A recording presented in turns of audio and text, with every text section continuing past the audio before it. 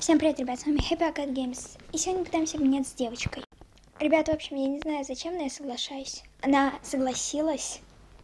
Блин, боже, я не знаю. Это хороший трейд, плохой? Блин, я без понятия.